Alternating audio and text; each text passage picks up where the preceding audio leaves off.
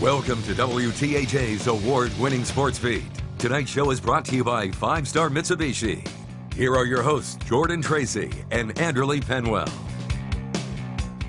Hello, hello, hello. It is 11:10. That means it's time for Sports Beat and it is playoff time. Turn up your volume, throw the remote out the window cuz you're not going anywhere. I'm Jordan Tracy alongside me is Anderly Penwell. Let's begin this playoff edition in Altoona where Woo! they host Mifflin County for the District 6 semifinals in 6A where they played in week 3. It was Mountain Lions who came out on top 38 0 Let's go to Mansion Park.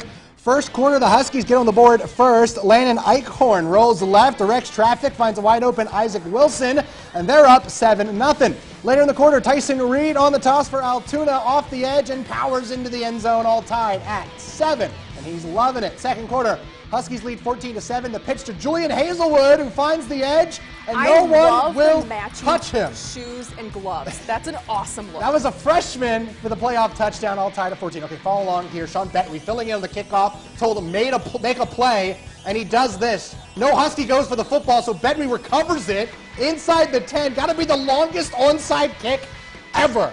Alex Yost punches it in to take the 21 to 14 lead before half, and Altoona wins it 31 to 24. They face the undefeated State College for the District 6 title next week.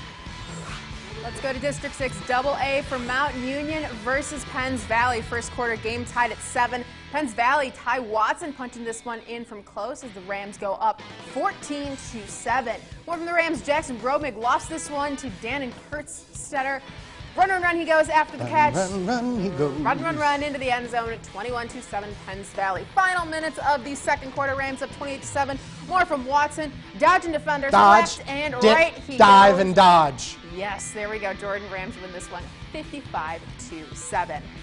Let's go to Richland now, where the Rams hope to keep their season undefeated. They'll carry that into the playoffs against West Shamokin. All right, let's do it late in the second. Rams up 28 to nothing. Easton Robertson on the handoff finds pay dirt, and the Rams go up by 35. Wow. I think the undefeated thing's going to continue. Later in the Yeah, quarter, Sam Penna right. finds Austin Yarnick over the middle.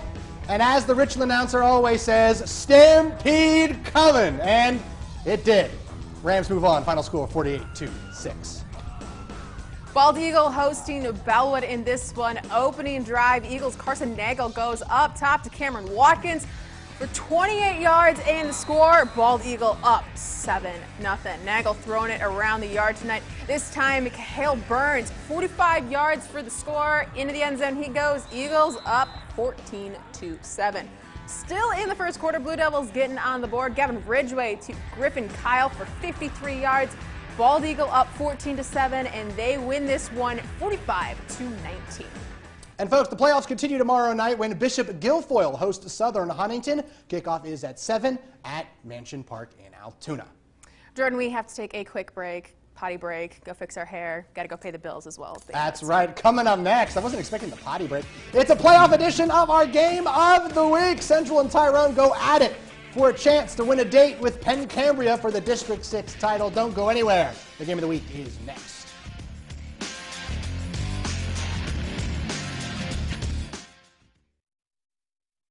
Back from the potty. Time for our game of the week, sponsored by Five Star Mitsubishi in Altoona. This week we have to give it to the Central Dragons. They're on the road facing Tyrone, District 6 AAA semifinals. The last time these teams faced each other was back in 2020, where Central got the 17 to 14 win. Awaiting for the winner of this one is the Penn Cambria Panthers, and some of the Penn Cambria players were in attendance scouting their next potential opponent. Hmm. First game drive of the game for Tyrone, and Ashton walk this way finds Ross Gamp over the middle to pick up the fourth and 18, but they weren't able to capitalize. After the big stop, Jeff Hohenstein marches the Scarlet Dragons down the field and takes it himself for the first points of the game.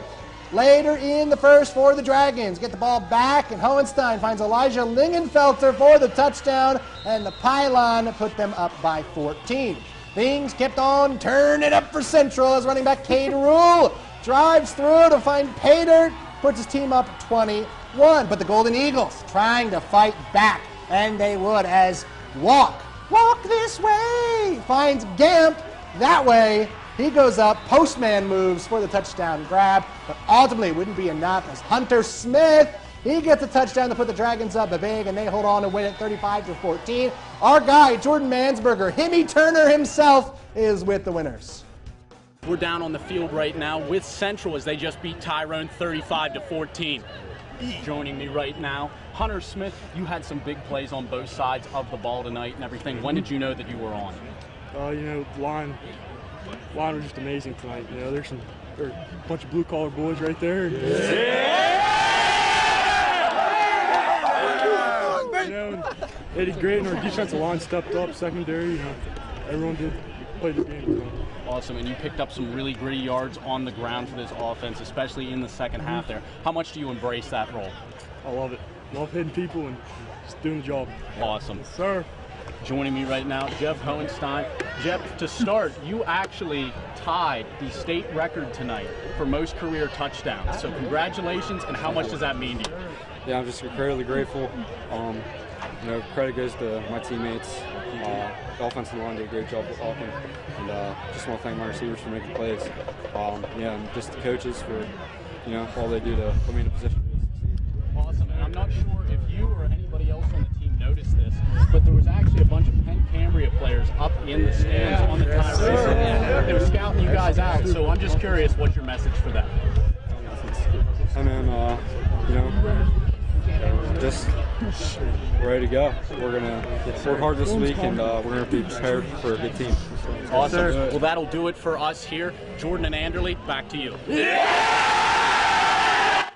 yeah! Coming up next, we go to District 9 and District 6 Single A for their playoff action Dude, after stop. the break. Yeah.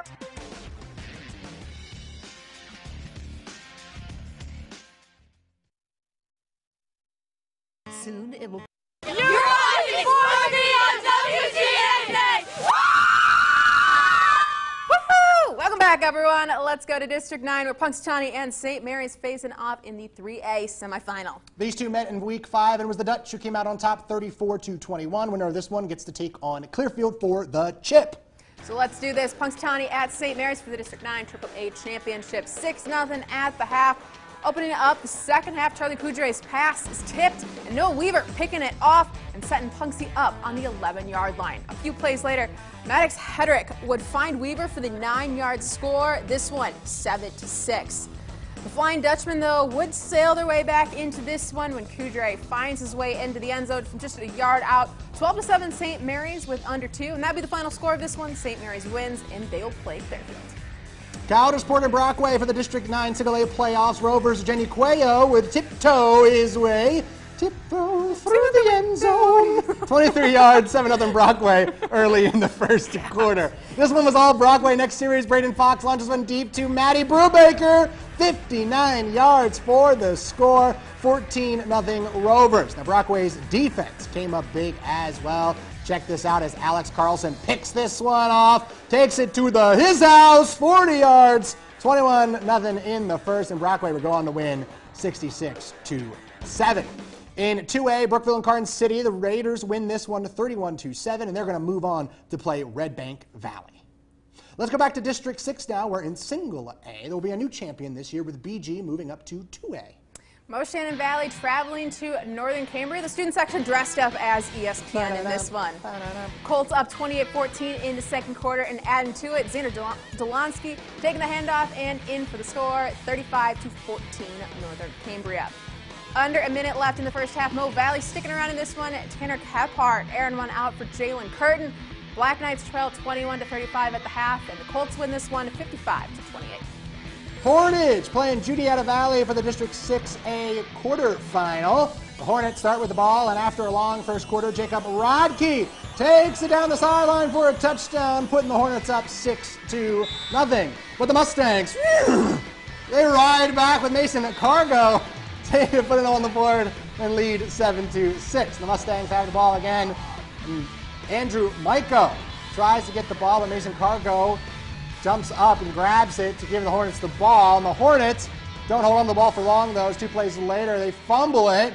Bodie Leo recovers it, giving the ball back to the Mustangs. Portage wins this one at 22 6. Homer Center and Cambria Heights for the District 6 Single A playoffs. Third quarter, Heights up 14 to 7. Riley Cleaver is picked off by Ty Stockley, and Stockley brought down inside the 20.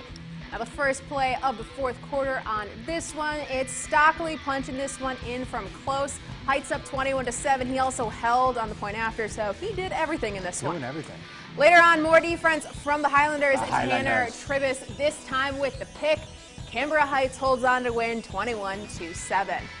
Also in single A, Glendale took on Penns Manor, and the Comets move on with a final score of 21 to 7. And we'll have some more playoff action right after the break.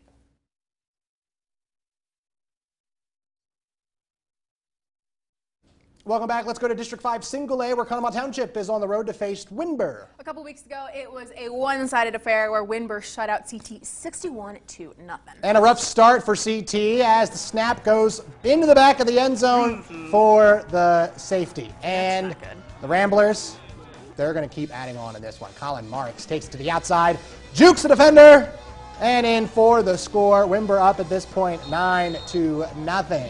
And it keeps on going for Windber. On the next drive, John Schuster following his blockers, and he's going to be off to the races, folks. 81 yards for the score. He had a lot of big scores in this one as Windber wins it 66 to nothing.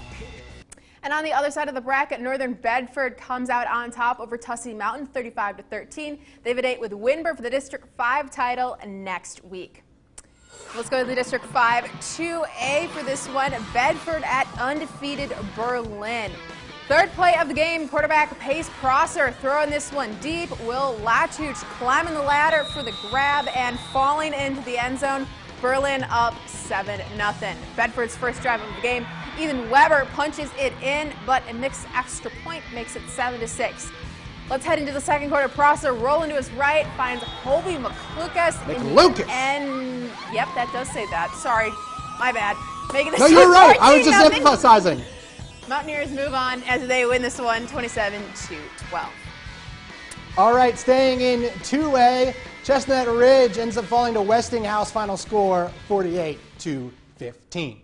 Only a couple things left to do, Anderly. Coming up next, we crown our plays and player of the week.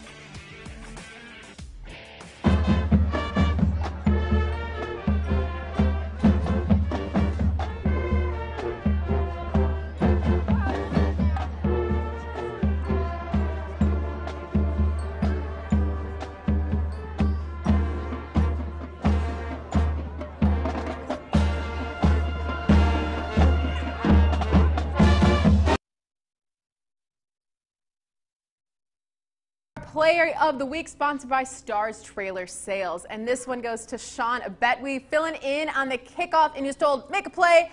And then does this no Huskies anywhere near the football and Betwe recovers it inside the 10. I think this is the longest onside kick ever. Has to be. Absolutely has to be. And time for our Player of the Week sponsored by Walker and Walker Equipment. Well, we talked about him. John Schuster from Windber. He had 311 yards on 18 carries and three touchdowns on the game. Shout out to Adam Ripple for the stats. And that's how you get player of the game. Big touchdowns, an 81 yarder. He had another long one there, and uh, they rolled the 66 0 win there. That's that's going to be a good matchup for them, Northern Bedford next week for the District 5 title there in single A. Yeah, we had some great games today. Some nice tight ones and some good blowouts. I still there. can't believe that onside kick. It was so long. And I said to Sean when he lined up for the next one, I was like, hey man, uh, maybe do it where I can see it next time because you didn't get it. Kinda. Folks, thank you for joining us for the playoff edition of Sports Week Week 1. We'll have more action next week at 11:10. Don't miss it. Bye.